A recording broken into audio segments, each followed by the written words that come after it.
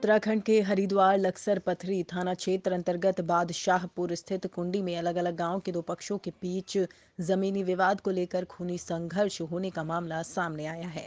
इस दौरान घटना में कई राउंड हवाई फायरिंग होने के बाद जमकर लाठी डंडे चलने से एक पक्ष के कई लोग घायल बाद तीन मोटरसाइकिल क्षतिग्रस्त बताई जा रही है।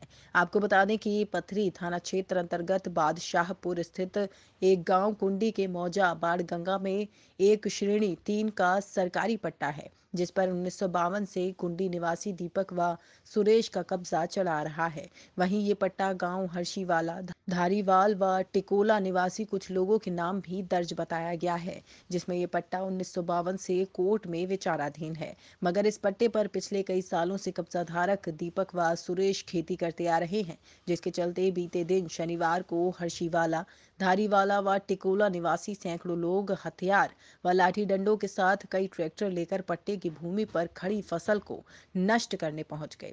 उनका आरोप था कि कब्जा धारक कोर्ट में विचाराधीन पट्टे की भूमि को खनन माफियाओं को बेच रहे हैं, जबकि कोर्ट के आदेश आने से पहले पट्टे की भूमि को बेचने का कोई अधिकार किसी भी पक्ष को नहीं है।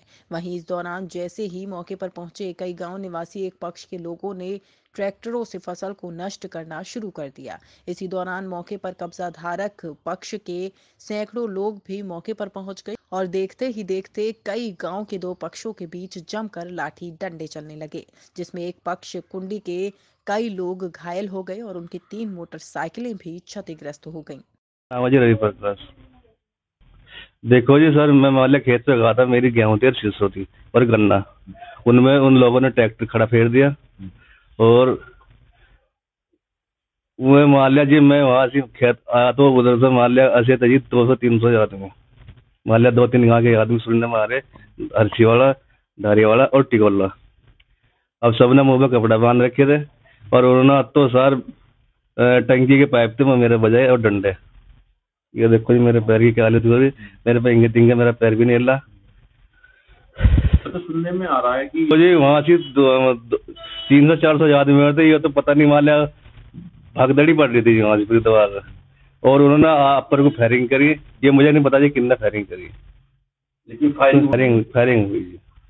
देखो जी मैं तो यहीं का यहीं पड़ा मुझे तो पता नहीं मेरे को तो बाहर भीतर जाए जाना मुझे पता। मेडिकल करवाया मेडिकल मेडिकल करवा। है? आ रही थी मुझे और होगा नहीं पता जी। पुलिस पुलिस को कोई तैयारी दी है। हाँ जी पुलिस की तैयारी दी थी जी मान लिया मेरे चोट लगी जी। किस मामले को लेकर लगी? इनसे जुड़ा विवाद है आप खुद देख के भी आओगे वहाँ से बीस बीस फुट मान लिया खाई बना रखी है किसी द्वारा।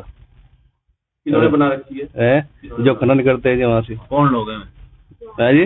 जी है जी? पुलिस कार्रवाई कर रही है इसमें? देखो जी पुलिस तो जो करेगी वो देखो जी उनके ऊपर बात है जी पुलिस की।